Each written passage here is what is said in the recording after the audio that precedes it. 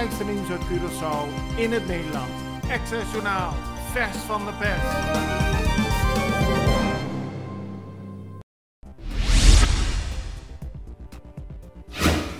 Minister-president Eugène Ruggenaat gaat vandaag tijdens de wekelijkse vergadering van de Curaçaose ministerraad voorstellen om hulp in het Koninkrijk te vragen om zo uit de impasse in het parlement te komen. Ruggenaat wil kijken of er voldoende steun is in zijn regering om de Rijksministerraad te vragen met een oplossing te komen. Het gaat om het feit dat Emily Capriles vanwege een boycott door de oppositie niet kan worden beëdigd als statenlid. De fractie van de PAR heeft gisteravond al laten weten helemaal achter het standpunt van de premier te staan. In de afgelopen periode is het meerdere keren niet gelukt te vergaderen omdat statenleden van de oppositiepartijen zich niet aanmelden.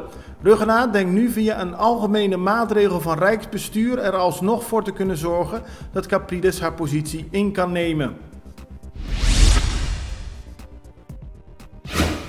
Oud-minister Suzy Camelia Reumer vindt dat Curaçao het probleem in de Staten zelf moet oplossen. Ze is het niet eens met het voorstel van minister-president Eugène Ruggenaat om de Rijksministerraad te vragen om hulp in het probleem.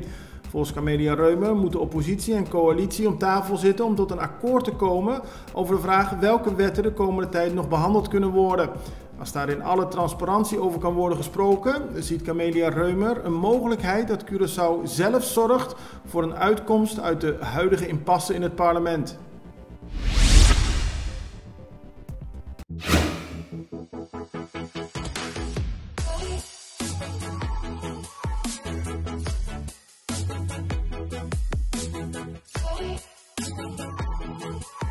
Ora boca trem automaticamente bota em roupa e hamburger.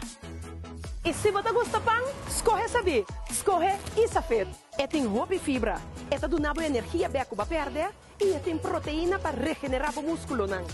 Panaderia Isa, o healthy lifestyle. Minister van Verkeer, Vervoer en Ruimtelijke Planning, Zita Jezus Lee toe, vindt dat zij alles heeft gedaan om ervoor te zorgen dat er geen slachtoffers vallen als gevolg van de slechte staat van het Sinelandia-gebouw. Ze heeft onlangs besloten dat het gebouw moet worden gesloopt omdat er instortingsgevaar dreigt. Maar als er dan partijen naar de rechter stappen om dat tegen te gaan en de rechter daar ook in meegaat, kan ik daar niets meer aan doen, zo stelt de minister. Ze geeft aan dat ze ook niet verantwoordelijk kan worden gesteld als iemand nu gewond raakt door instorting van het oude theater in Punda. Vanmiddag rond 2 uur gaat de vaccinatiecampagne van Curaçao officieel van start. De pers is uitgenodigd om aanwezig te zijn in het vaccinatiecentrum in de polykliniek van het oude CEOS. Daar zullen de eerste patiënten een vaccinatie krijgen. Curaçao kreeg vorige week woensdag zo'n 19.000 vaccinaties van het merk Pfizer. Op de andere eilanden van het Caribisch deel van het Koninkrijk is de campagne al begonnen. Op Curaçao gaat het vandaag van start. Er zijn twee vaccinatiecentra ingericht in het oude Seos Hospitaal. Welcome to the Greenhouse Curacao restaurant. Here at the Greenhouse Curacao, our chefs expertly prepare your food with the highest quality and freshest ingredients.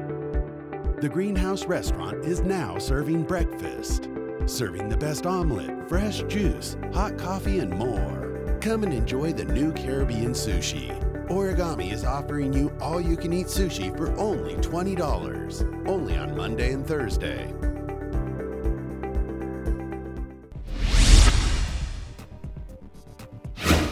Curaçaose politie heeft gisteren een verkeerscontrole gehouden op Banderbouw. Bij de weg naar Westpunt werden 54 verschillende processen verbaal uitgedeeld aan mensen die te hard reden. Er zijn vier processen verbaal uitgedeeld voor andere overtredingen. Eén man is aangehouden omdat hij mogelijk illegaal op ons eiland verblijft. Organisatie AGKK, die de Curaçaose carnavalsgroepen vertegenwoordigt, vindt dat de overheid snel over de brug moet komen met de precario gelden voor het carnaval dat niet door is gegaan. Het zou om 114.000 gulden gaan voor standplaatsgeld. Volgens de leden van de AGKK duurt het te lang dat de overheid het geld terugbetaalt. Gisteren zijn ze verhaal gaan houden bij minister Zita Jezus Liitu en die heeft aangegeven dat er snel terugbetaald gaat worden. De organisaties Green Phoenix en Coca-Cola hebben gisteren bekendgemaakt dat ze in de afgelopen maanden 30.000 flessen hebben ingezameld die geschikt zijn voor recycling. Eind vorig jaar lanceerden de twee bedrijven een gezamenlijke campagne waarin zij de gemeenschap opriepen om plastic te recyclen. De bedoeling is dat de materialen niet verloren gaan en weer een nieuw leven krijgen in de vorm van een lokaal vervaardigd product. De organisatoren zijn daarom zeer trots dat de doelstelling van 30.000 flessen is behaald. Het belangrijkste nieuws uit Curaçao in het Nederland. Journaal, vers van de pers.